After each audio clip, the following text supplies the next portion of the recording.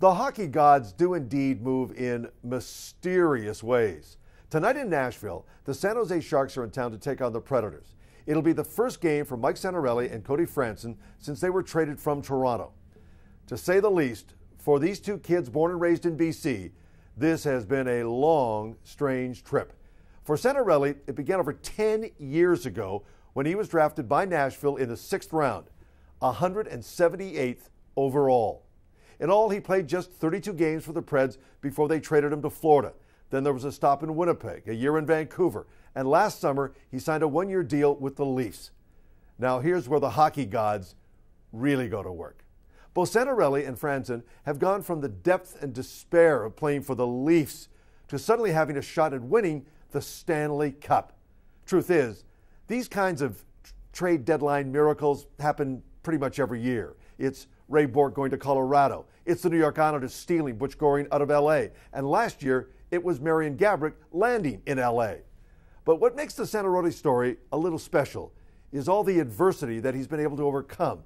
His journey had stops in Milwaukee, San Antonio, and Tingsryd, Sweden, wherever the hell that is.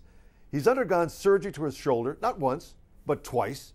He's been traded three times, and after he was released by the Jets, Santorelli did not even know if he had a future in the NHL.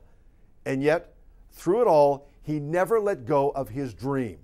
In that respect, his story is so similar to that of Willie Mitchell. In 2010, Mitchell suffered a severe concussion, and as a result, that summer, when he became an unrestricted free agent, the Canucks passed on him.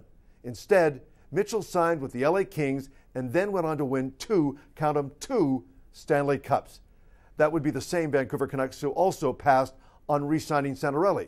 So now the question is just what it mean to him to finally get his hands on the Stanley Cup and then bring it back home to Vancouver. Because, like it or not, Canuck fans, now that Santorelli is in Nashville, that is a very real possibility. Think of it as uh, Cinderella meets dodgeball. Who knows? Before it's over, the hockey gods may even turn this whole thing into a movie. Hmm. Oscars, Sunday. I wonder what Bradley Cooper's doing.